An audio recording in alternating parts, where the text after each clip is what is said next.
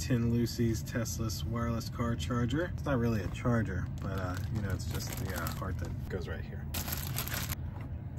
And so here it is. It just is basically a liner, makes it a little easier to uh, clean out because you can take this out and clean it. And of course, your phone can still sit here and wirelessly charge.